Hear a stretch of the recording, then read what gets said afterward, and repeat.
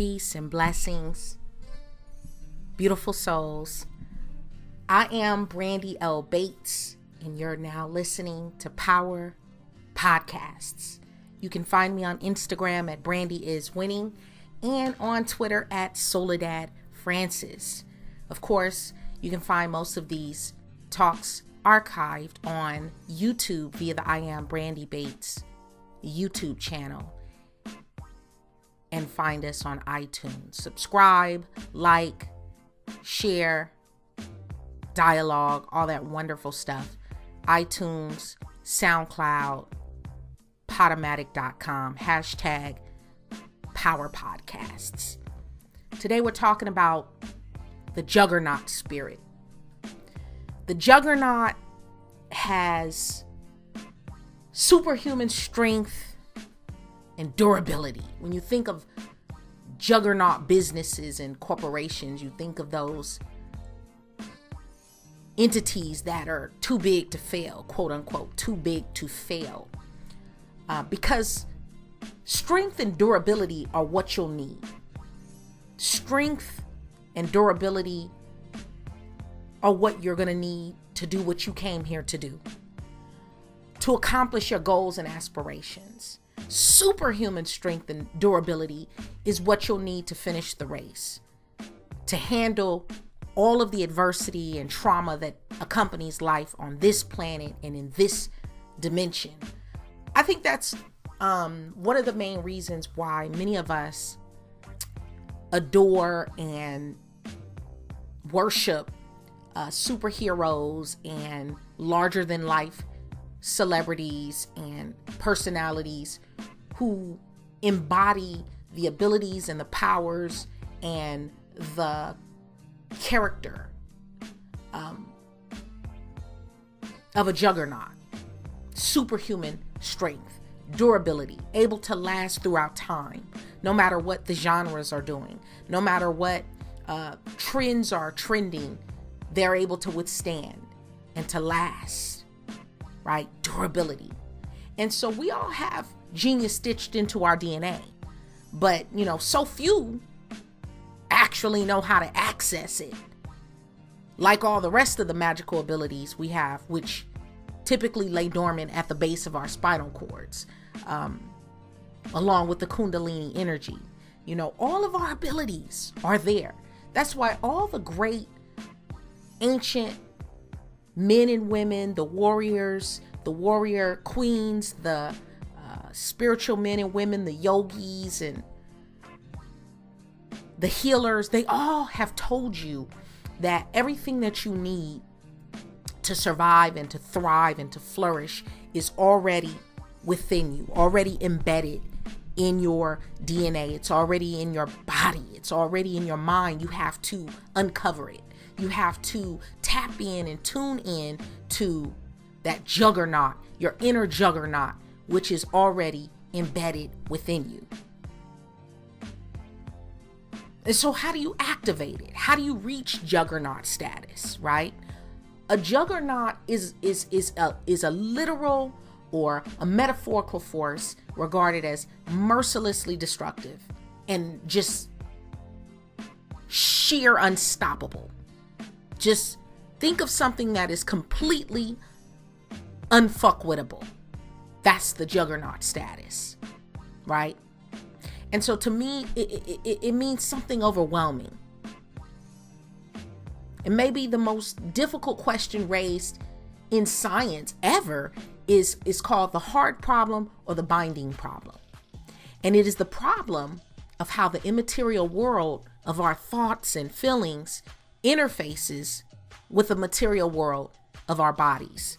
And so emotional states caused by our thoughts and our feelings are immediately reflected in the physiology of our body or our material world.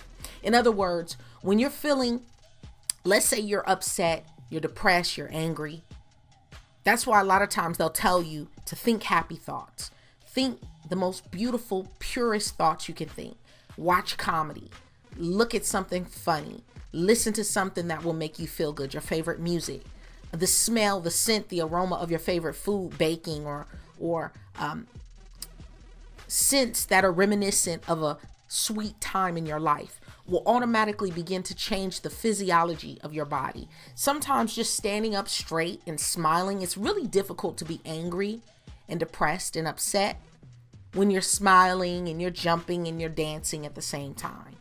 See, a lot of times we do depression, we do anger, we do frustration, and it starts with the thought.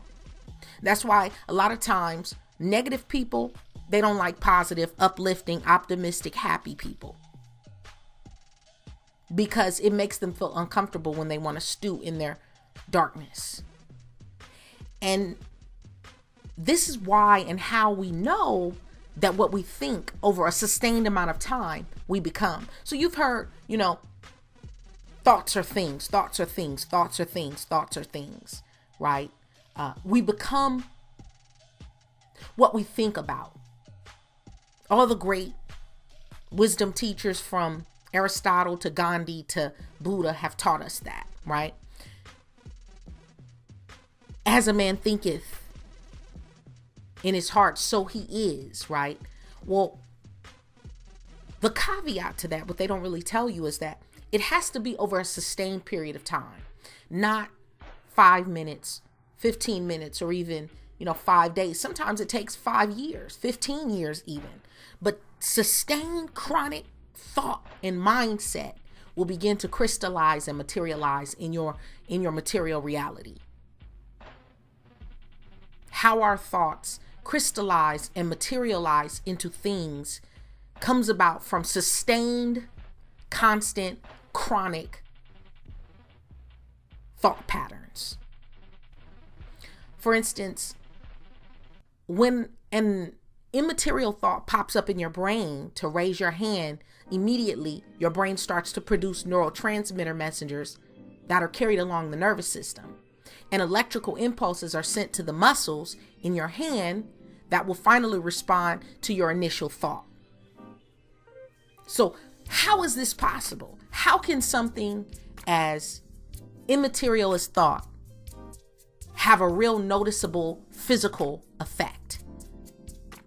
And I'm saying it happens all the time in your body all the time in a split second.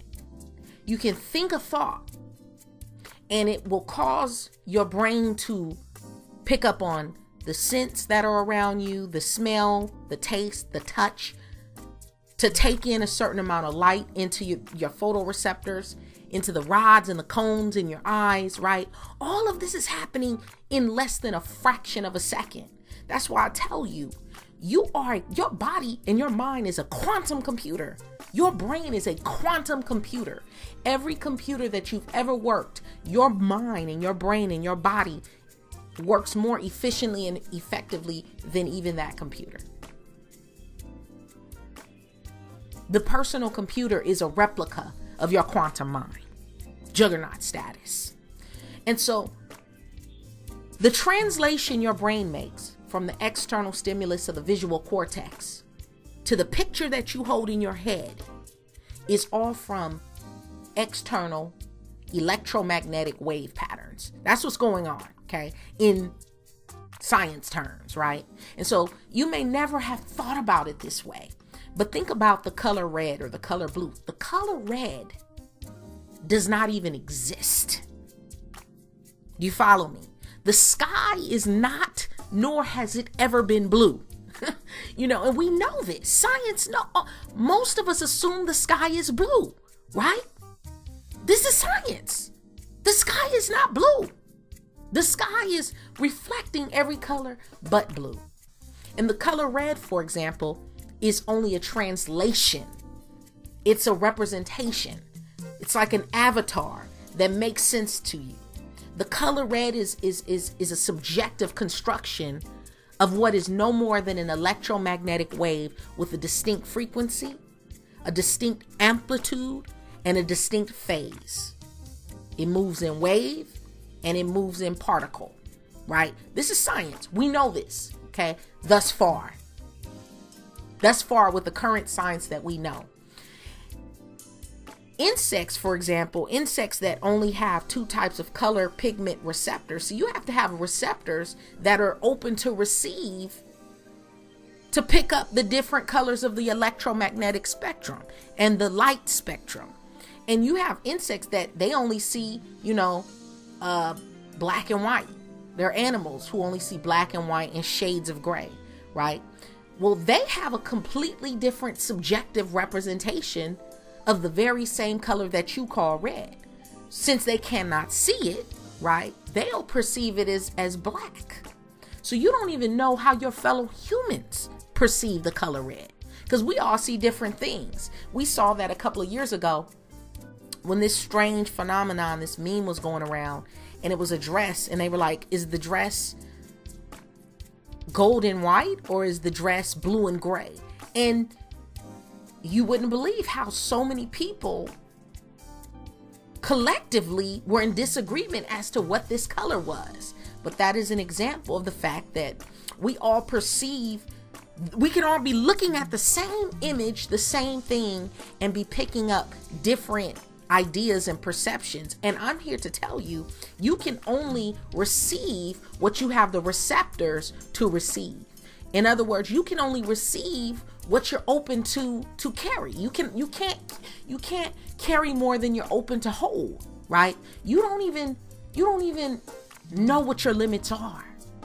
And so where do where where do you go I'm talking to you now. Where do you go to breathe the ideas and execute on concepts that will raise the vibrational frequency of this dispensation? Because you came here to do more than sit in a, in a cubicle. You came here to be more, to have more, uh, and to accomplish more than what most people have in mind for you. Dare I say, what you may even have for yourself. And the juggernaut is considered one of the strongest and most powerful beings on earth.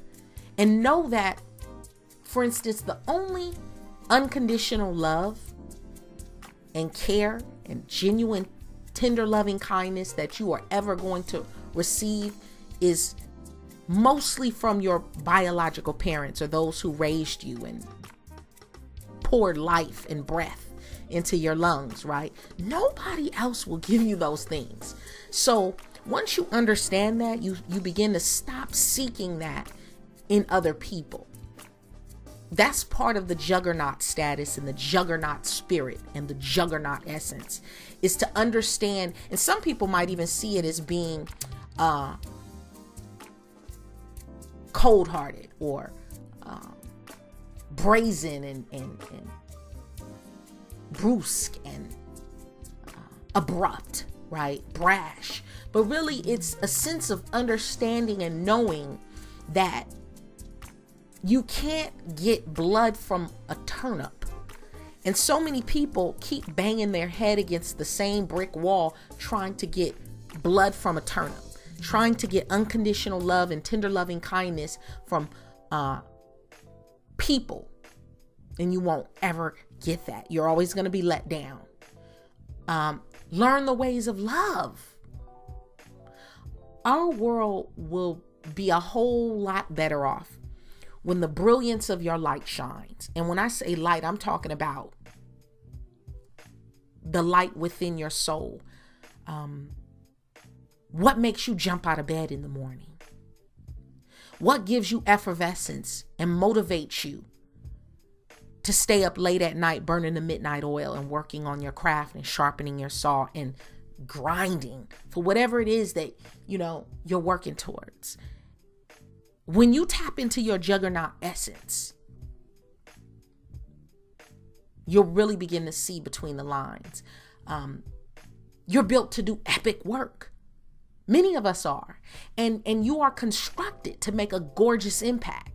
Um, there are future generations born of your children's children who need you to step up who need you to show up, who need you to show out and make history. We only interpret a few uh, percentages of the whole spectrum of electromagnetic energy that exists. Notice I said we only interpret. I didn't say we only see. Because there are aspects of the the electromagnetic spectrum that have sounds that we've never heard before. Pitch, high pitch, low pitch.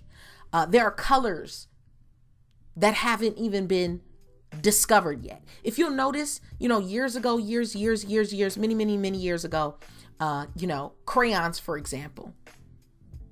When crayons were first invented, when we first started seeing crayons, there were maybe a couple of colors, you know, red, orange, yellow, green, blue. Now all of a sudden, you know, then there were 64 colors. Now there are like 182. And who knows how many there, there will be in the next 10, 15, 20 years. And that is because we're starting to explore more and more elements of that's just the color light spectrum along the light spectrum. I'm saying when you tap juggernaut status, you will begin to perceive sounds you've never heard, uh, colors you've never seen. Uh, some people do it and access it through the use of uh, hallucinogenics and psychotropic drugs, um, things like LSD and magic mushrooms, things like that. But I'm saying there's a way to do it naturally and harness it and be able to control it and access it at will. You know, it's like a lot of people who are psychic, they just have glimpses of this gift, but they don't know how to harness it and control it. And again, it goes back to sustained, consistent, constant thought. Just like we see in the Fibonacci code, you see a pattern. There are patterns in everything in nature. There are patterns in music. There are patterns in snowflakes. There are patterns in the way the waves beat against um, the the sea the way the sea, the way the waves roll onto the beach, right? You have to mimic those patterns to make these things come about. We learned in school that our brain is a kind of supercomputer with loads of neurons firing at the synapses, processing, right? Processing the vibratory information, that we receive from the five senses what we hear, taste, touch, smell, feel. Our thoughts are personal, and supposedly no one has access to them but us, right? Our memories are, are engraved into gray cells that constitute the brain, right? That's what we were taught. But that's what most people were taught in school and still believe today, even though we know better, right? In fact, we are able to experience memories which have been uh, passed down from our ancestors through our DNA. We used to believe that memories were stored as like engrams at a you know specific location or specific addresses in the brain right? Just as a computer stores its data in a specific memory location. We say hey if the brain is this super super computer then maybe it, it kind of mimics what we've made and we have it backwards we we know now that the universe is a huge repository of electromagnetic frequencies encoding multiple levels of reality. Multiple. Let that sink in for a moment. Multiple levels of reality.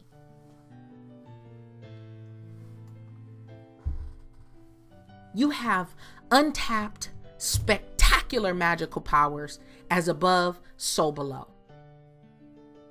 But in many ways, your powers are trapped in another dimension and thus lay dormant in this dimension.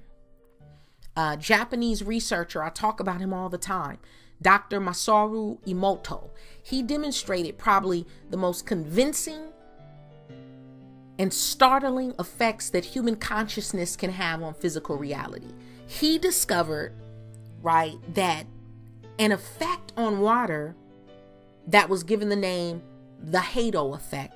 Hado is the intrinsic vibration or vibrational pattern at the atomic level in all matter, all matter, all of it. The smallest unit of energy, right? Matter. So its basis is the energy of human consciousness. We know this. Dr.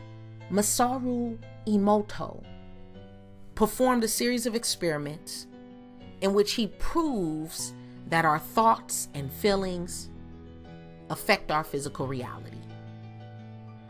he demonstrated that water as his subject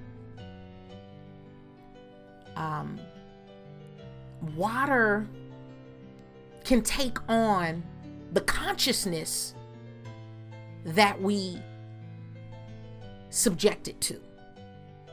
And so he started out studying the shape of water crystals, ice crystals. And he used all sorts of water from all different places, all over the world. And he studied how they would form ice crystals. And he noticed that water from heavily polluted rivers, okay, Flint, Michigan, right? Heavily polluted rivers don't crystallize at all. And that clean mineral uh, spring water produces all of these beautiful, magnificent, magical ice crystals when frozen, right? And to his amazement, he discovered the crystallization of the water molecules were somehow related to his mood. So he started experiments in which he used he took clean tap water and he sent all kinds of human emotional thoughts and feelings to the water samples before freezing them. Right? So one he'd say I love you, you're beautiful, you know, sending you love and light and abundance and wisdom and power. And then another one, fuck you, you're not shit. I hope you die, you piece of shit you know. And to his astonishment, the water reacted to his intentions. And when negative thoughts and feelings were used, no beautiful ice crystals were formed. They were either chaotic in form or they didn't even crystallize at all. Hello, powerful self talk, positive self talk. Hello, positive affirmations, right? However, when he sent loving thoughts and feelings to the water before freezing it, the most beautiful and regular, highly organized crystals formed. And in following experiments, he put stickers on the on the bottles of water and he labeled them with words like love, God, and hate and devil. And again, the ice crystals reflected the intention of the words he put on them. The words he said to them took form. The words he wrote on them took form. I remember when I worked in corporate America, I would always keep a cup of water on my desk, and at um, like a like a white styrofoam type of cup, and I would always write on it. And so I'd write different things like love and peace and prosperity and abundance, and you know, um, I'm rich, I'm successful, and and believe it or not, there is so much truth to this. And you would think that with us knowing this in 2018, with us knowing this, we will watch our tongue, we will watch what we say, but we don't. And so understand you are constructed of both deity and demon. Juggernaut is already within you. You are constructed of both deity and demon, which is why you're capable of terrible evil and fantastic beauty and art. This is the substance of all humanity. This is the underlying texture of all human beings. It does not matter your socioeconomic status. It does not matter how much education you have or have not.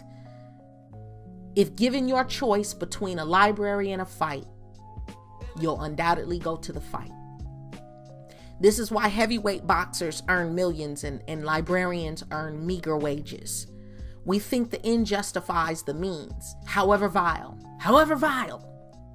Whoever has to fall, right? By any means necessary, get rich, right? Get rich or die trying, no matter who you have to step on, right? This is why humanity all over the globe is entrenched in warfare entrenched in poverty and entrenched in pestilence. Our true our true origins are shrouded in mystery. You have destructive aspects and you have constructive aspects. You have the ability to build and simultaneously to destroy. And the end is the means by which you achieve it. I'm gonna say that again because I know it's probably not gonna sink in for a couple for a couple of days. The end is the means by which you achieve it. Today's step is tomorrow's life. Remember, consistent, constant, sustained thought. And I want you to know that as a juggernaut, you are capable and able to control the very fabric of the universe. And I know for some that's a very hard pill to swallow, but you are able to control the very fabric of the universe. Once you understand that not only is time not linear, time is not linear, but time has been systematically used as a weapon. Stay with me. In oblivion. This is oblivion. Some would even say we're actually living in hell now. I won't go that far as to say that because I believe that uh, hell is a construct of the mind, uh, much in the same way as heaven. But in oblivion, time moves fast, making people age. You can't hold time, you can't taste time, you can't drink time, you can't massage time, but yet we have daylight savings time. Time dictates when we wake up Time dictates when we eat, time dictates how long we do what we do. Time governs our days, and it is used as a weapon. And for centuries, great, brave, lonely men have been telling you what to do, time and again. We've corrupted, we've diminished, and demolished their teachings. Right? From Nietzsche to Christ to Buddha to Muhammad. God made man, and now man is remaking God in man's image. A warlike chaos being who leaves as much pollution and plunder and pestilence in his wake as he discovers alien technology. It's like the further we go, the further we advance, the worse off we damage the planet, the worse off we damage ourselves. And that's part of the juggernaut. That's part of the juggernaut spirit. It's the the yin and the yang. It's the darkness, the duality, the darkness and the light all in one all in the same entity. And so, because you have no memory of things that happened 10 or 20 even years ago, you're still mouthing the same nonsense as 2,000 years ago, and none of us are living it. None of us are walking in it. None of us. Extensive research conducted on the effect of transcendental meditation showed that when practiced by a large group of people, they could substantially drop the, con- the crime rate in a large city. Understand, you can cloak your city in love. You can cloak your city in abundance and wealth and prosperity. You can bring happiness. You can bring community with you wherever you go just in case there isn't any when you get there right so we now know we know that places where people gather with their with their positive intentions to pray for better times may get permanently conditioned and become sacred places even after years and years being imprinted with the same intention again sustained consistent constant thought in fact someone listening to this right now right now, you're where you are. Get this. You're where you are, blessed and bawling because of the fervent prayers of a grandmother or a great grand aunt who you've never even met. But her prayers have kept you over the decades. Times when you know you should have been snuffed out. It might have been a car accident. It might have been a head on collision. You may have been shot. You may have been stabbed. You may have been robbed. You may have been in a situation where it could have been you, but it was someone else. You've been spared and you don't know why. Build your house on granite. Universe doesn't know whether the vibration that you're offering is is because of something you're observing or something you're remembering or something that you're just imagining. Speak life. It just receives the vibration and it answers it with things that match it, right? Speak life, speak love, speak health and wealth and prosperity, right? Every day when you wake up for the next 60 days, manifest health and healing in your bones and for those who you love, right? You can manifest more money and more business and clients and customers and multiple sources of income. You can manifest billions. Ask any billionaire. First, they had to be a millionaire. But how did they get to be a million be a millionaire self-made? They didn't earn it. They I mean they didn't they didn't uh inherit it. They earned it. It started with a sustained, constant, consistent over time thought. What you think about activates a vibration within you. Think about your favorite song. I mean your your shit, right? How do you feel? Now think about someone you hate.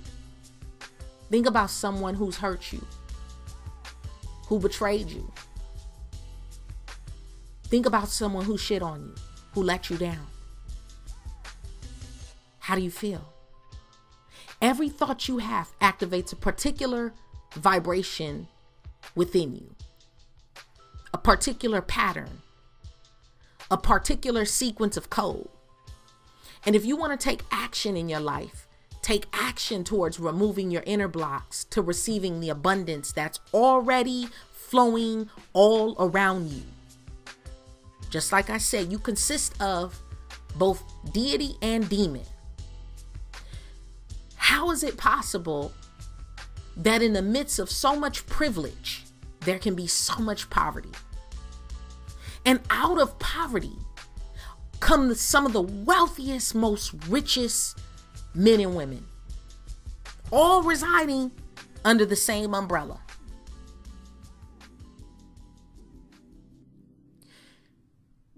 You have to have your own personal experience. The map is not the lay of the land, right? The words are not the experiences. It has to be bigger than reading about it or seeing it on TV, though that helps, you know, that might help get you, you know, at least an idea of what you're looking for. But you are the creator of your own reality, the God who is the creator of worlds. You are the avatar. And the mind has the ability to produce every drug that Merck and GlaxoSmithKline sells only at no expense in the purest form. Your mind can produce the purest form of MDMA. Your mind can produce the purest form of LSD at no expense without having to get anything external out of the world. It's already, it, it, it can already be produced and in the perfect dose. This is the juggernaut spirit in essence, in action the ability of the mind to heal the body explains the well known placebo effect, right? You've heard of the placebo effect, right? The effect where a patient is cured by her own suggestion. Because she'll be given like a, a, a, sugar pill, right? Or um, they'll tell her, oh, you you know, you're being treated. We're gonna we're gonna give you a uh, appeal. We're going to treat you, and within a couple of months or weeks or years, she's she's cured.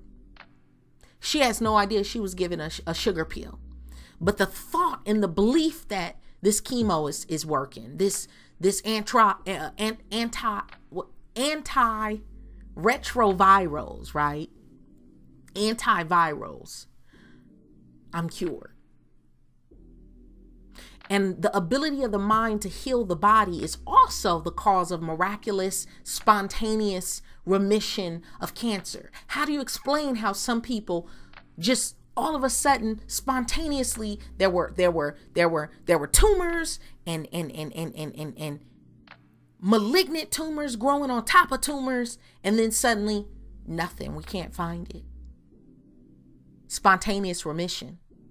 It happens all day every day. Not to everyone. Again sustained constant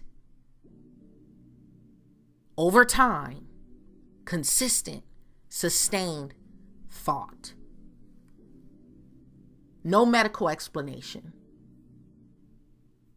See, a diagnosis is not the end all be all. What your mind and your thoughts and what you say and believe it is, that's what it is. Not what some doctor told you. What you believe, what you receive. Because remember, you can only hold and carry what you're open to receive. Or think of the power of prayer. The power of prayer. How many people can tell you things they've prayed for and prayed about over time and how it worked in their lives? The imagination is chaos, folks. And new forms come out of out of the imagination. That's the imagination is limitless and endless.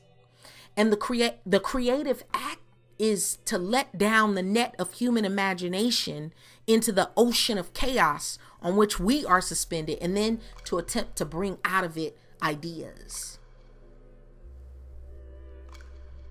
You are one idea away from totally revolutionizing your life. Your life can look completely different in the next seven to 10 years completely different. New house, new car, fleet of cars, private jet, boats, you know, yachts, whatever, whatever, whatever, whatever.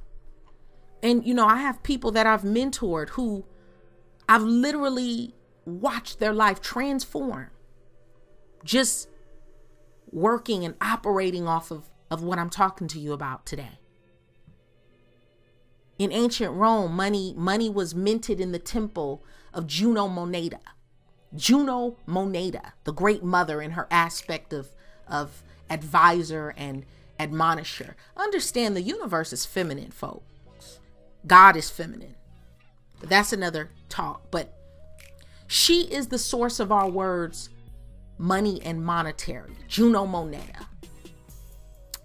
Roman goddess, the goddess of memory, and she was also the most powerful of all goddesses in Roman mythology. That is to say, she's like the feminine essence of Juggernaut. So when you think of this great, mighty, powerful Juggernaut, and you think of Juno Moneta, that's the feminine essence of Juggernaut, which is to say that money and power always tend to go hand in hand. Hand in hand. Those who have power are usually quick to manifest lots of money and vice versa. Those who have lots of money typically will notice how how their power um, quotient goes up, right?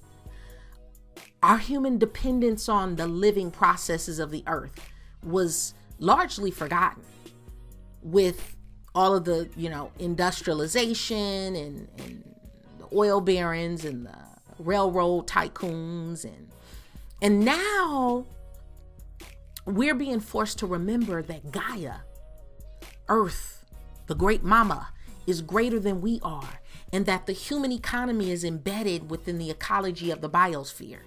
Remember, the ends are the means to arrive there. And the juggernaut is one of the strongest and most powerful physical beings in the universe. Endless superhuman strength, endless kinetic power, capable of moving mountains. You can move mountains. Not, yeah, not physically, but in the same way that water can wear down stone. The limits of Juggernaut are unknown. You don't know your your limits. You really don't know you really don't know what you are capable of. Because most of you stop far short of your true potential. We all do. We all do. And most of us are operating on a fraction of our abilities and powers. And you are the only one who can defeat you. You're the only one who can stop you. So as I, you know, as I leave you today, up to this point, we've understand up to this point in history, up to this point in life, in the world, we have held the world upside down. We really have. It's not that consciousness is an effect uh, of the materialistic world. No, no, no. It's the very cause of it. Our thoughts, our feelings, our consistent, sustained, constant, over time thought are not limited to our body and internal experiences of, of reality, but have a true, measurable, tangible, provable effect on the outer world. And this is how you reach juggernaut status. Thank you so much for listening. Have a wonderful, magical, magnificent rest of your day. The next 60 days, we are going to manifest a whole hell of a lot of health and wealth and wellness, prosperity and abundance, power, money, means. We're going to be blessed. We're going to be balling. But I need you to have constant, sustained, consistent over time, watching your words, watching how you speak, watching how you think, watching how you move out in these streets. So you can be a juggernaut. Peace. Have a great one.